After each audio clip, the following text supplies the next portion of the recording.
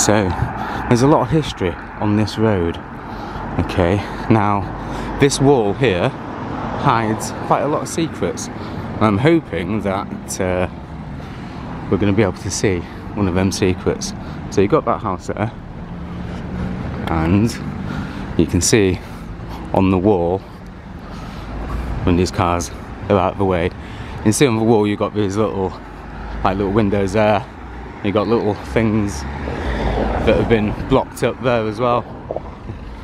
And you've got little doorways on this uh, part of the road here. And you can see where it's fallen down here. And if you can see, you can see the arches holding up this little path road here with these houses along the top.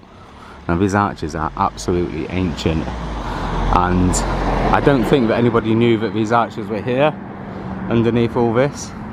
Um, obviously we know that there's cellars because you can see the cellar doors there but these arches I don't think anybody knew that they were there.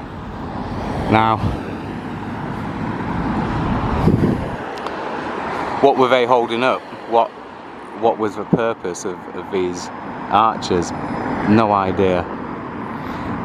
So you can see on the far left there's big uh, sandstone blocks and on that one is brick and they're handmade bricks. So exceptionally exceptionally old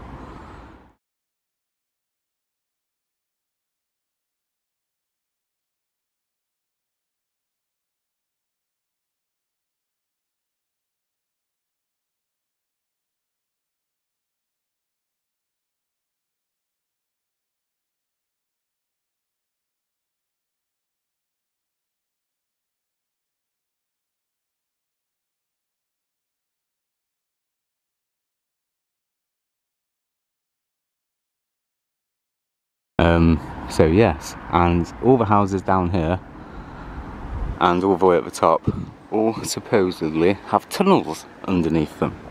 So I'm just gonna walk down this way.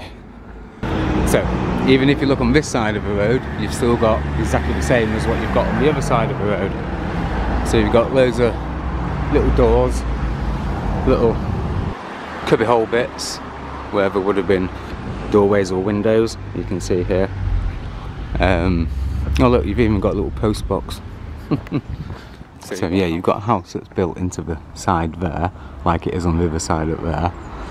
But all these houses here have got well they are going to have tunnels underneath. Of course they are.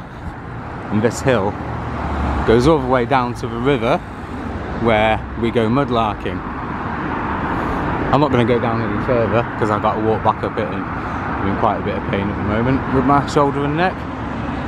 But yeah, absolutely fantastic.